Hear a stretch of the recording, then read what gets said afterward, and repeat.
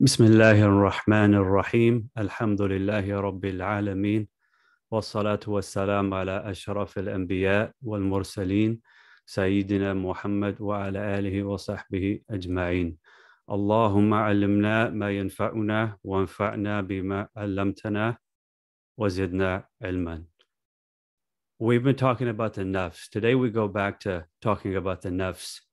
So we discussed in previous sessions that the nafs goes through stages. So al-nafs al-amara, then al-nafs al-lawama, then al-nafs al-mutma'inna.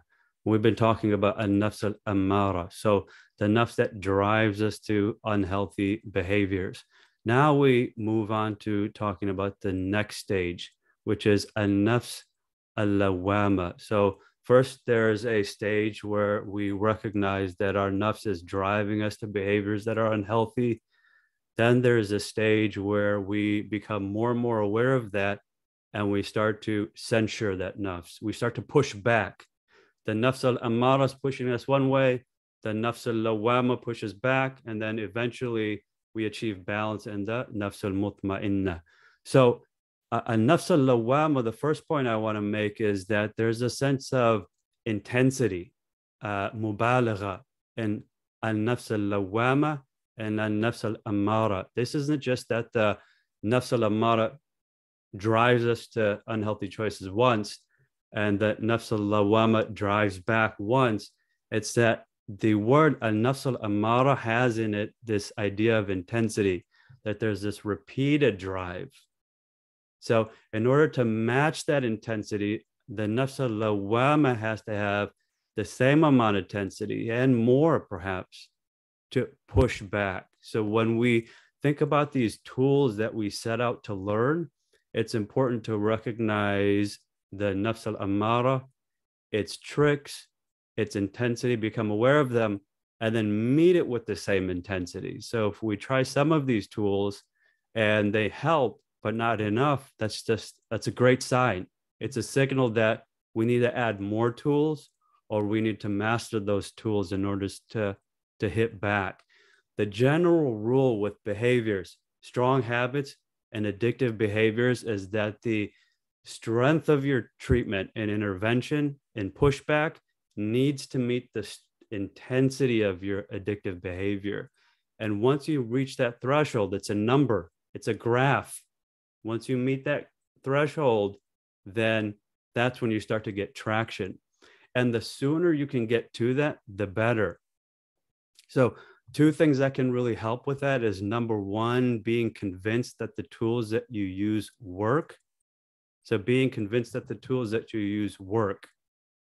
And when you are able to understand the tools, perhaps see other people use those tools and be successful with them, and then maybe understand the science behind the tools.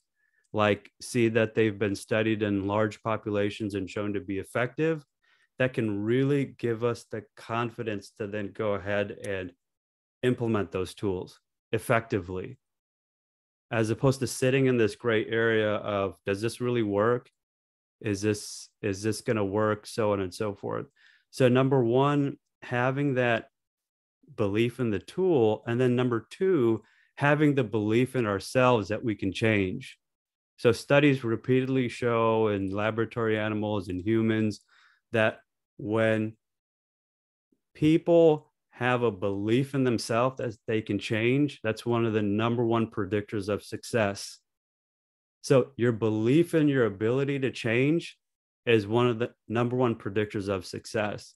So, again, matching the nafs al-amara that drive within us to unhealthy behaviors with the strong with the similar strength of intensity of treatment and then just getting to work with it. If it's not here then we move it up here. If it's not here we move it up here through a trial and error process until we till we get there.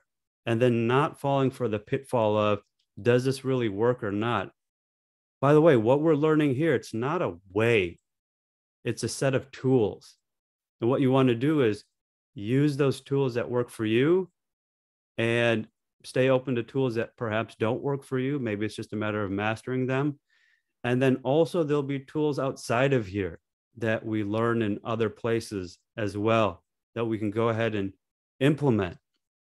And so putting all of these things together are, are important to increase our chances of success. So we talked about in the past how do we push back on the nafs al amara? So we talked about Imam al Ghazali. He talked about the nafs that's arrogant and wild with arrogance and out of control with arrogance. So we don't we won't rehash that, but a point I want to make with that is when we talked about that, Imam al Ghazali, when he talks about how to push back on the nafs, he talks about it with several different strategies. So he, he takes this nafs al amara and he has a intensity of strategies that he uses in order for us to then push back on that. And you can divide, and he uses the aql. So the nafs al amara is a drive within us, and then we use our aql to push back and censure, censure that drive and push back. So we talked about how Imam al Ghazali says that the person that is nafs is out of control with arrogance. It's because they see themselves as better than others. And it's because of this belief that they're better than others because of certain things about themselves. So now you can break up this behavior into three things there's a trigger, there's a, a thought that arises, and then you put that thought on trial. So, number one, Imam al Ghazali talks about how a person they can go into certain environments where they see other people that they generally believe to be themselves to be better than. So they see somebody younger than them. And they see that, by the way, this is in Bidayatul Hidayah. They see that person as younger than them and they find a way to feel better than them. Then they see somebody older than them and they're triggered and they find a way to see themselves as better than that person, so on and so forth. So there's the trigger, then there's the thought I'm better than this younger person because I'm better than this older person because so on and so forth. And then there's the trial, there's putting those thoughts on trial. So then what Imam al Ghazali says is, he, I'm paraphrasing it, but he's essentially saying, put those thoughts on trial. When you see that younger person, are you better than them because they're younger than you? Or has this person, or is it the opposite? Has this person had enough time to sin as you have or as we have? When you see somebody older than you, are you better than that person? Hasn't this person been able to worship a lot longer than you? When you see somebody that's more knowledgeable than you, there's other thoughts that you can come up with. When there you see somebody that's less knowledgeable than you there's other thoughts that you can come up to put that thought on trial. Somebody less knowledgeable than you that person sins and they're not aware of it whereas we sin and we're aware of it and so on and so forth. So much content on how to push back on this one thought of i'm better than others. One thought of I'm better than others, and so many different, so much ammunition given to how we can put that thought on trial. So, point number one is this idea exists within our tradition of recognizing certain situations. Number two, recognizing certain thoughts. And then number three, putting those thoughts on trial and pushing back. Point number two is that the intensity of pushing back on that nafs needs to be as strong as the intensity of that nafs pushing back on us. And inshallah, with, the, with that, we'll go into the text on chapter six. It talks about how we've come to a point where we've looked at our triggers. We've looked at different thoughts or red flag thoughts that these triggers come up with, uh, result in. And then we've taken a look at some errors in thinking that make us prone to want to engage in our addictive behavior. So, triggers, thoughts, and those thinkings lead to our addictive behavior. now that we thoroughly understand this concept, again, because we don't want to think about this in a superficial way, like it's some sort of like intellectual stimulating thing. We want to look at this like we need to master this in order to really overcome these problems that have sort of aren't going away uh, despite our best efforts.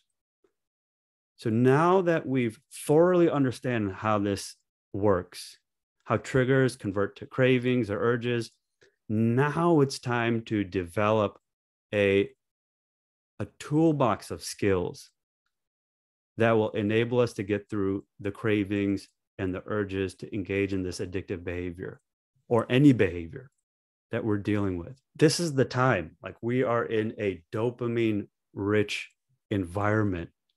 It's not, do you have an addiction? It's what addiction do you have? This is the t- this is the time where there's digital addictions, there's chemical addictions, and it's less about like is this pertinent to us? It's more about have we reached a stage where we're aware that this is pertinent to us? As we practice these new skills, you want to pay attention to which ones are most useful to you. So you don't want to focus on one that just seems really foreign or odd or bizarre or just kind of not in line with something we're used to and then miss a bunch of skills that you may be open to. So, and you want to practice and see which ones kind of like fit with me or which ones are the low hanging fruit that I can start implementing. Implement those and start implementing them now and, and really building up your skills with it and try to stay curious about the other ones. From this chapter forward, based on our observations and reflections about our experiences trying out these different techniques, from this chapter forward, we'll start creating our own customized plan for our own addictive behaviors. So we've talked about our addictive brain, our, our nafs al ammara, and how and strategies we can use to defeat it specifically by making our rational brain stronger, specifically by training our aql. The red flag thoughts that we've identified in previous sessions are byproducts of that nafs al amara, that addicted brain, that drive within us. This is the part of us that finds ways to justify going back to our addictive behavior to feed those uncomfortable urges. With practice, though, we can censure these thoughts, we can challenge these thoughts, and we can outsmart our lower addicted brain. We can outsmart our nafs al amara. When you do that, when we repeatedly outsmart it, our rational minds start to become the new normal you know, like basketball, you can dribble with your right hand. If you're right handed, it comes easy. Dribbling with your left hand, a little bit harder. Soccer kicking, if you're right handed, maybe kicking with your right foot, your dominant foot is easier. Kicking with your left foot is harder. Um, same thing with any sport or writing. Writing with your right hand, if your right hand dominant, is easier than writing with your left hand. Now, let's say you are in a situation where you now are a professional soccer player or a professional basketball player. You no longer have the luxury of just using what you're comfortable with naturally. Now it's time to utilize every part of you, dig deep, and utilize every part of you in order to overcome this new challenge. Same thing with addiction. We have ways of thinking that are comfortable for us, but now it's important to develop new ways of thinking. And as we develop those new ways of thinking, it's going to feel abnormal, bizarre at first. Like just like writing with your non dominant hand or dribbling or kicking with your non dominant limb. But after a while, after you go through that process of struggling, then it becomes normal because now you've wired your brain and it operates in the same way you check out and can dribble with your dominant hand. Now you can check out and dib- dribble with your left hand. And that's where we go from nafs al amara to nafs al lawama to nafs al mutma'inna, where now we have this tranquil, balanced self, which is able to regulate itself automatically. So there's this period where we have to train, challenge, do things, step out of our comfort zone, and just do it essentially and, until it becomes normal. And that's what fake it till you make it comes in. You, you, you'll hear in the rooms of recovery. Not that you're being inauthentic.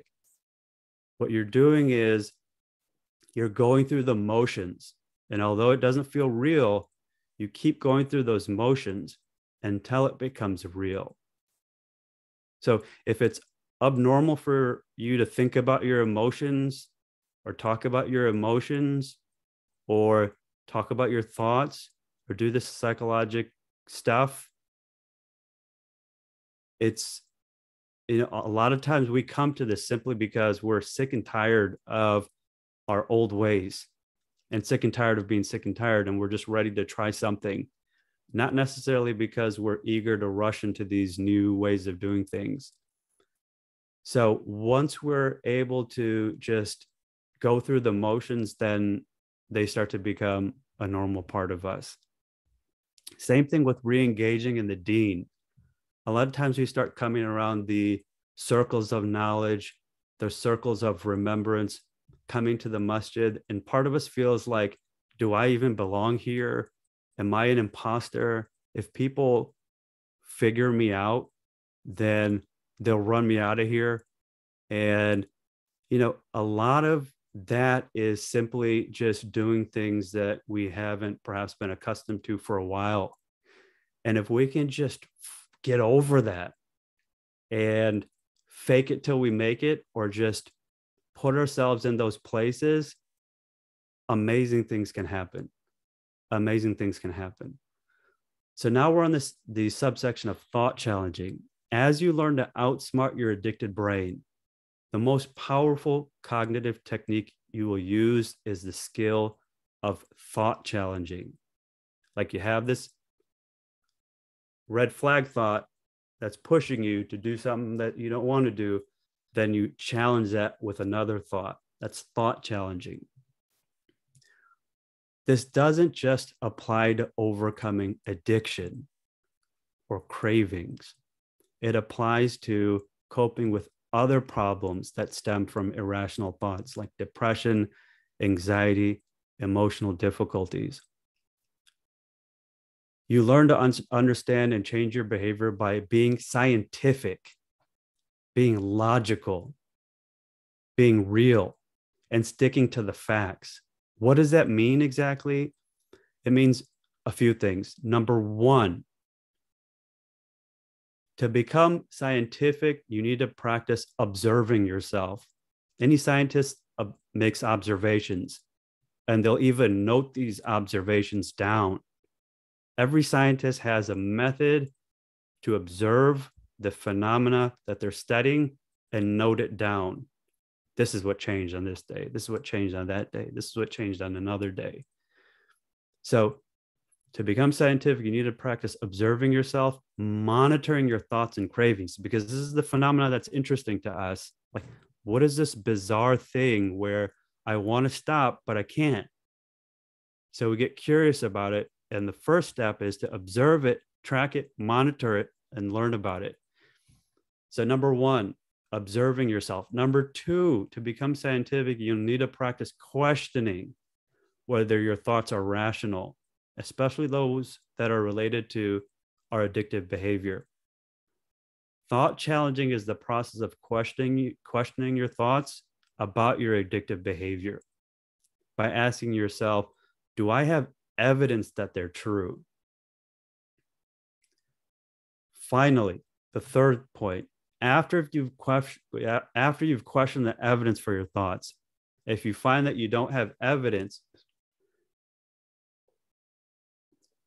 to support what you're thinking, then you will identify more rational, evidence based ideas you can tell yourself instead. These new healthy and balanced thoughts will help you make the behavior changes you set out to accomplish in your plan to change. Okay, so let, let's just all this theoretical stuff, let's put it to an example and, and then we'll wrap up, inshallah. So imagine a person, they have a strong urge to engage in their addictive behavior. The first skill that they employ is on a scale from zero to 10, they rate their craving and they rate it as a seven. They think about it and they realize that it's related to the environment that they're in. So now they're in an environment that usually triggers their addictive behavior. And now they've made that connection that this environment leads to a seven on the craving scale. Now that person can try thought challenging by following three steps. Number one, you can think of this as the three T's. Number one, the triggering situation, identifying the triggering situation. Number two, the thoughts. Identify those thoughts that are de- being produced about the drinking or, or, or the using or the pornography or the food addiction or the digital addiction. Identify the thoughts that are pushing you back to the addictive behavior. What, what is the nafs al amara? How is that driving us? Number three, put those thoughts on trial. Put those thoughts on trial. So, number one, this person was in a triggering situation. So, the first T, triggering situation. Number two, what are the thoughts that are coming that are that are driving that person? Let's say this person says, if I just engage in my addictive behavior once, it's no big deal. I can control it. Then, number three, they put this thought on trial. They examine the evidence for them. So here's some questions to figure out whether the nafs al amara that's driving this, if they're rational. Um, so to, to figure out if it's the nafs al amara that's driving these thoughts or if they're rational thoughts. And then the honest answers that that that you come up with. So for example putting the thought on trial and examining the evidence. Number one is one time okay? The facts. Yes one time engaging in your addictive behavior is not going to be completely destructive number two can i control my addictive behavior enough to stop after one time engaging in that behavior. The facts.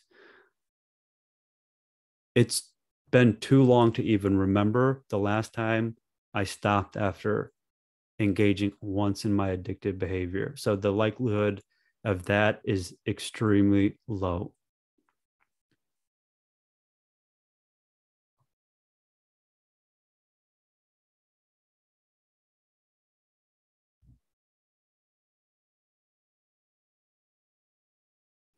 And what they find out, what this person finds out is the idea that they could have just one time with their addictive behavior is exactly the kind of thought that the addicted brain produces to feed that urge to engage in their addictive behavior.